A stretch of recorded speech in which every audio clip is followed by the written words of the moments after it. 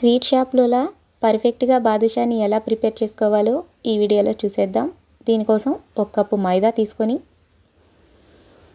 చిటికెడు సాల్ట్ అండి ఇది. Half spoon baking powder. నేను ఇది యూజ్ చేశాను. బేకింగ్ పౌడర్ వేసి కలుపుకుందాం.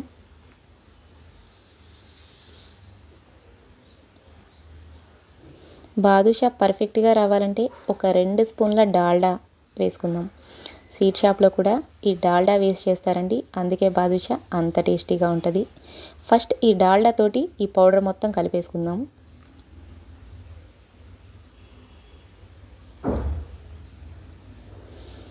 డాల్డా మొత్తం ఈ పౌడర్లో పట్టించేసి మెత్తగా పౌడర్ని కలిపేసుకుందాం.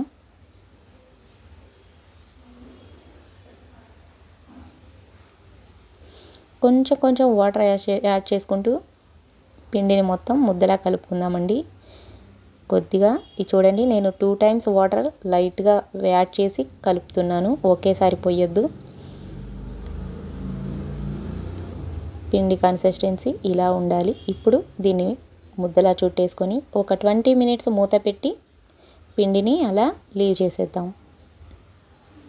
ఇప్పుడు అంతలోకి పాకం ప్రిపేర్ చేసుకుందాం. ఏ కప్తో అయితే మైదా తీసుకున్నామో అదే కప్పుతో రెండు కప్పుల పంచదార ఒక హాఫ్ కప్ వాటర్ వేసి పంచదార కరిగించుకుందాం.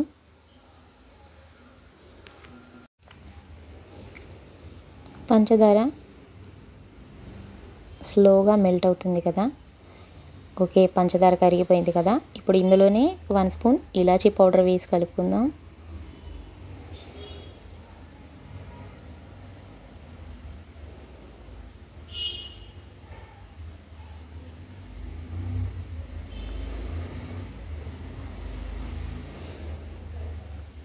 ఇప్పుడు పాకం చెక్ చేస్తున్నాను చూడండి.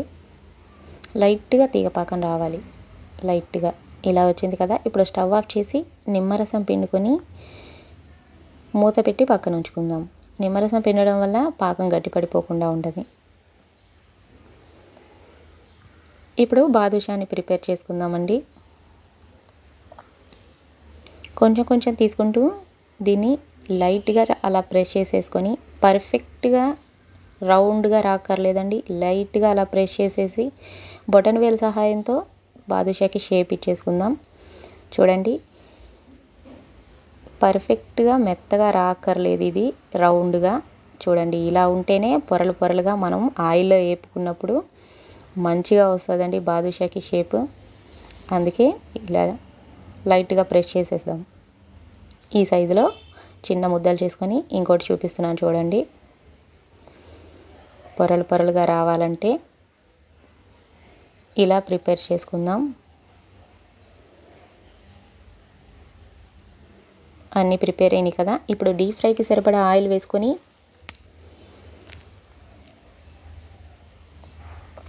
ఆయిల్ని సిమ్లో పెట్టి లైట్గా కాగనిద్దామండి. మరీ ఎక్కువ కాకర్లేదు. ఆయిల్ కొద్దిగా మీడియంగా కాలేక ఇప్పుడు ఈ బాదుషాలు వేసుకొని స్లోగా ఫ్రై చేసుకుందాం. ఇవి ఫ్రై అవ్వాలంటే టైం పడుతుందండి. త్వరగా అయిపోవు. ఎక్కువగా త్వరగా అయిపోవాలని ఎక్కువ మంట పెట్టేస్తే త్వరగా కలర్ వచ్చేస్తాయి కానీ అంత టేస్టీగా ఉండవు. లైట్గా కలర్ ఇది చూడండి వాటికి అవే తేలుతున్నాయి కదా. ఇప్పుడు సెకండ్ వైపు టర్న్ చేసుకుందాం. చూసారా? పొరలు పొరలుగా బాదుషా షాప్లో లాగా మంచిగా వచ్చేసింది కదా. అందుకే రౌండ్గా మెత్తగా చేసుకోలేదండి ఇది.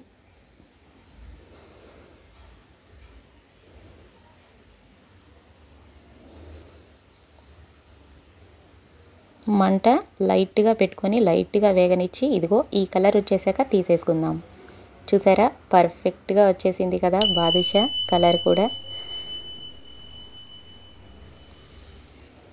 పాకంలో వేసినప్పుడు ఇవి లైట్గా కలర్ చేంజ్ అవుతాయండి. అందుకని ఈ కలర్లోనే తీసేసుకుంటే బాదుషా కలర్ బాగుంటుంది ఇప్పుడు వీటిని సెకండ్ కూడా వేసేసుకుంటున్నానండి రిమైనింగ్.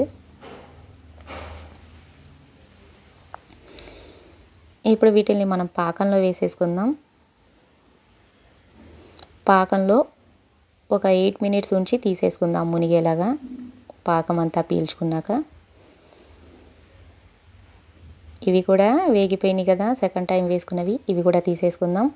ఇప్పుడు వీటిని తీసేసుకొని పాకంలో రెండోసారి వేసుకునేవి కూడా వేసేద్దాం. Yummy badusha ready. చూసారా? పర్ఫెక్ట్ కలర్ తోటి పర్ఫెక్ట్గా లోపల కూడా చూడండి. ఎంత చక్కగా బాదుషా వచ్చేసిందో. నచ్చిందా? Please like subscribe my channel thanks for watching